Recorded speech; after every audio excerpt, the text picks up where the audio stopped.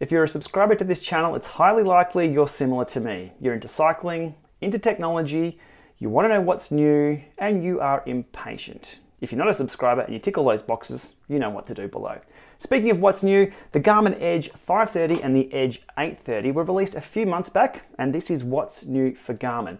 They also promised us, though, something new for something that's a little older, the Edge 1030. Well, there is a beta firmware update out for this, which adds a few of these features into here that we'll run through today.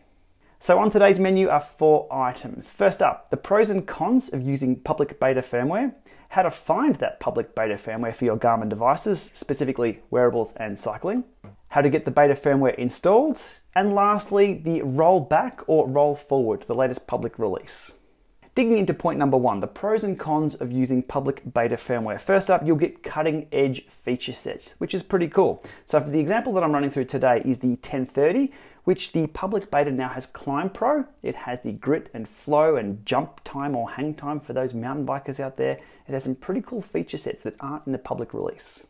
Public betas are typically stable enough for everyday use. It's the alphas or the private betas you want to steer clear of because they're usually the ones that the company wants to test themselves because they're not quite good enough to release out there in public. These ones are out there for everyone to use if you choose, so usually they're good to go. These updates typically include a number of other bug fixes as well that I call that are ahead of the curve. So there's a lot of, oh, there's thousands, sometimes hundreds of thousands of things that can go wrong with these units and firmwares. And there's sometimes hundreds of fixes, including these, which aren't listed in the full changelog. So you'll get a ton of other edge case fixes as well. Your usage and feedback contributes to better products. This is very important. If you've got verbose logging on, you're submitting logs through to the company, they'll end up making better products. We're quick to jump on keyboards and complain in forums that don't really matter. This is a direct line to the companies to make better things. I think it's a good thing. A lot of beta firmware becomes final with just a version number increment. So a lot of the times you'll be installing stuff that's going to be installed by everyone in a few weeks time anyway. And one thing we can't ignore is coffee shop bragging rights. Yes, you will be able to rock up with your 1030 and have Climb Pro, like all your friends, with these newer units and all your mountain bike metrics, etc. That is until your friend with an Element Bolt rocks up with the latest beta firmware Oh, no, we can't talk about that yet. Over to the cons and the downsides of using public beta firmware. First up, installation isn't as easy as normal firmware, but it's not too hard. It can be buggy, it's beta after all, although my experience has been pretty good over the years. And the biggest deterrent to steer clear from public beta firmware is the support channels change. You're not going to be able to call Garmin on the phone and say, hey, my Climb Pro beta is not working at my 1030.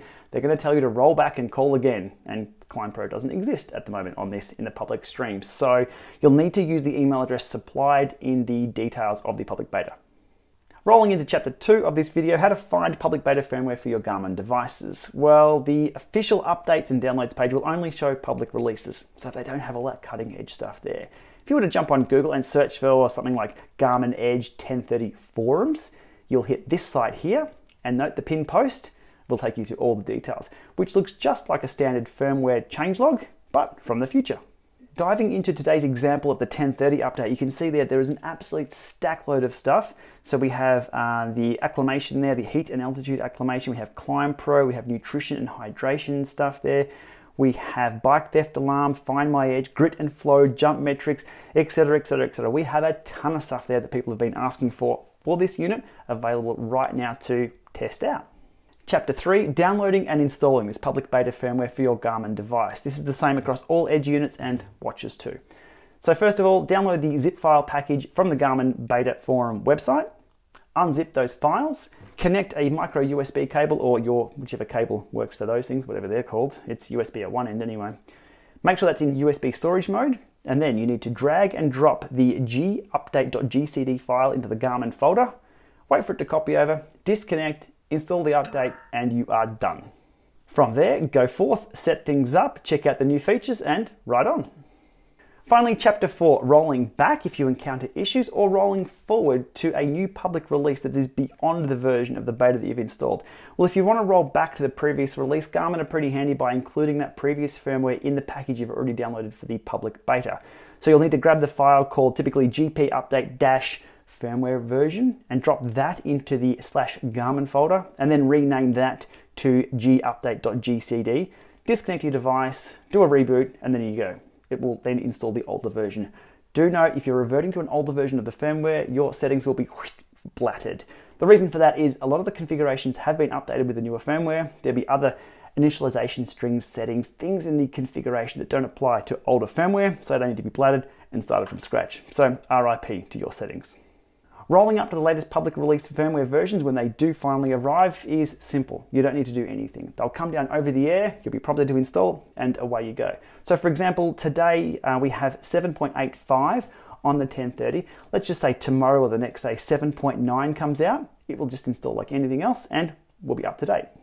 So there we are, everything you need to know about running public beta firmware on Garmin devices. Today we've used the 1030, but it applies to everything else out there as well. So if you're a nerd like me and get excited over firmware updates, which can squeeze a little bit more life out of this, or add some extra funk to these newer units, go for your life. It's not going to be for everyone, but as I said, I do like a good firmware update. All right, there we are. If you've enjoyed this one, remember to hit subscribe to support this channel. It's much appreciated.